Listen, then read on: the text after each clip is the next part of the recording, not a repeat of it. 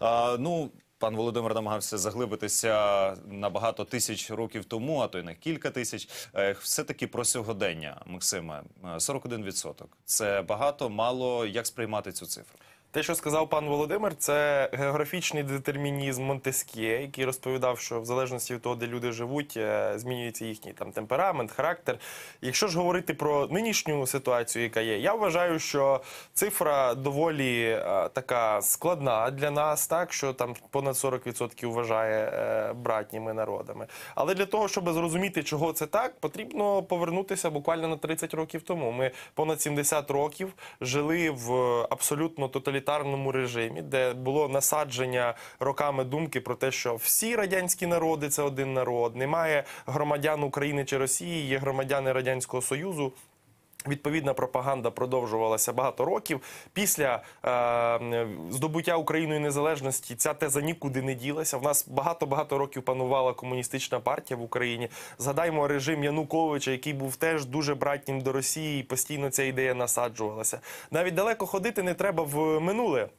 Якщо ми подивимося сьогодні на українське телебачення і на телебачення інших держав, яке транслюється в Україні, то ці тези теж нікуди не зникли. Е, от е, такий звичайний абсолютно простий приклад. Після певних змін на телеканалах про необхідність перехід на платний контент для багатьох громадян України е, доступ до українського телебачення просто припинився, тому що позаблоковували е, канали. Хочете дивитися їх, купуйте якісь платні речі. Більшість українців, тотальна більшість українців, не готові платити за телебачення. Але в селах на заході, на сході, я сам був свідком в е, абсолютно західних регіонах. Люди дивляться російський перший канал, тому що не можуть дивитися альтернативи української, тому що практично все заблоковано, і вони змушені дивитися те, що те, що їм показують, те, що вони на своєму там приймачі можуть е, зловити. І е, це глобальна проблема. Наступний момент. Ми не так далеко е, відійшли від 13-го року, від переломного моменту в українській історії. Ми не так багато прожили з початку української незалежності. Тобто я вважаю, що ті зміни, які відбуваються, і те, що з 13-го року там кількість з 80 е, відсотків тих, хто вважали Росію братнім народу, зменшилась там до,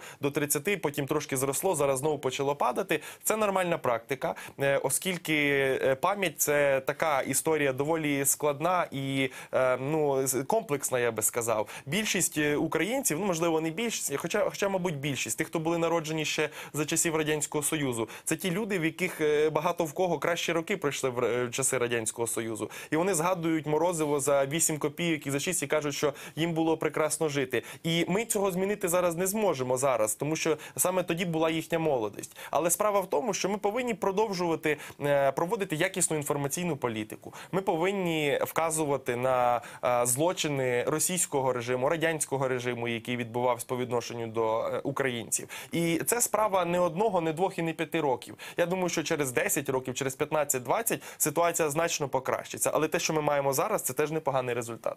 Е, Я повсякчас е, згадую момент ось з поколіннями. Е, І згадую схід. Дивіться, за ці роки війни на сході теж вже народилося ну фактично нове покоління, які не знають. Так, що таке жити в Україні, які не знають, що там, мовно кажучи, Крим е, український. Так ми прагнемо до повернення цих територій, рухаємося в цьому напрямку. Ну, бодай так каже влада. Так чи є думки, як від має відбуватися реінтеграція ось думок свідомості людей, тому що е, ці діти, скажімо, теж будуть там, мовно кажучи, приїжджати на навчання. Ну ось змоделюємо ситуацію. Там повернувся так е, частини е, Донецької та Луганської областей, і це ж е, надзвичайно складно. Так, що надзвичайно складний момент. Вісім років війни діти пішли вже в другий клас, ті, які народилися вже в так званих ДНР ЛНР під владою абсолютно Україн. тоталітарної так системи пропагандистської.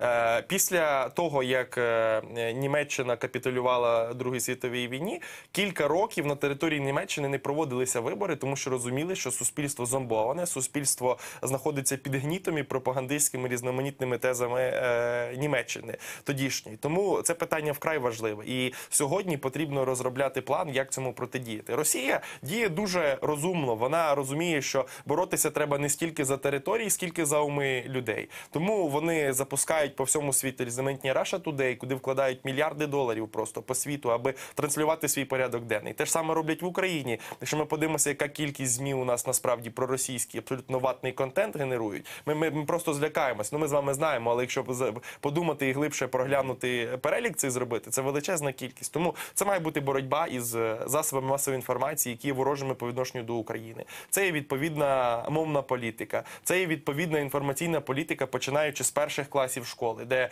е, предмети, які там е, починають читати їм, так якісь най, найбазовіші, аби вони вже включали інформацію про складнощі, які є, про те, що це дійсно наші території. І відповідно, я думаю, що реінтеграція Криму, ну зокрема, так з Донбасом там більш військова ситуація, але з Кримом е, реінтеграція його може бути лише шляхом боротьби за уми тих українців, які там проживають, і це не в останню чергу через різноманітні телеканали, через системи супутникового зв'язку, аби люди мали доступ до української інформації, вона була якіснішою. І на сам кінець, що вкрай важливо, для того, щоб реінтегрувати ці території, потрібно показувати, що реально в Україні жити краще, аніж на окупованих територіях чи в Криму. І доки ми економічно не зможемо бути е, конкурентними і показувати, що ми дійсно на, на дві голови, на три голови краще, ніж окупанти, от до того моменту в нас будуть реальні складнощі.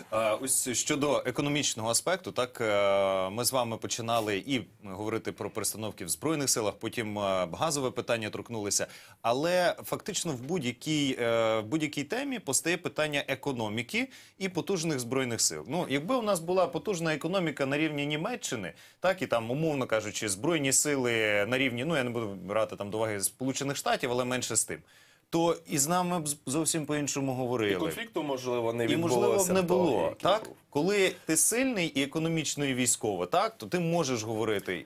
І, і, і вочевидь, тоді, коли ти сильний, і в тебе економіка, і в тебе збройні сили, то тоді б і такі а, договори і меморандуми за спиною Німеччина Сполученими Штатами не підписувала. Я собі в цьому переконаний. Колись а, Курт Уокер, той, що був представником а, в Україні від е, держдепу, сказав, що дипломатія працює тоді, коли за її спиною стоять танки. Це абсолютно прекрасна теза, яка відображує сучасний хід справ е, у світі і в Україні, і в решті речей. До того моменту, поки з нами не будуть е, рахуватися, до того моменту, коли не будуть розуміти, що ми дійсно є впливовою фігурою на міжнародній е, карті, от до того моменту виникатимуть подібні ситуації в геополітичному плані, у військовому плані і врешті. Тому, е, як би ми не, не казали, як би ми там не ховалися е, від цього, економічний аспект вкрай важливий, але разом з тим дуже важливий і, мабуть, більш важливий ніж економічний, це демократичний розвиток і це незалежна і недемократична діяльність інституцій, тому що багатих держав є багато. Якщо ми подивимося на схід, на Саудівську Аравію чи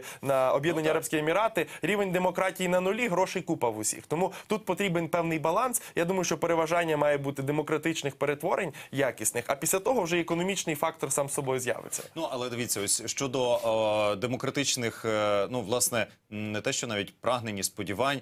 Е, як на мене, в переважній більшості українців ну закладено, умовно кажучи, оцей ну не знаю, може це дуже пафосно буде сказано, але ген демократії. Українці, ну нація, яка не звикла, точніше, намагається відійти і забути ось той історичний досвід тоталітаризму, так тому що сама історія наша, так це ну фактично боротьба за незалежність, за унітарність, так за свою самоідентифікацію.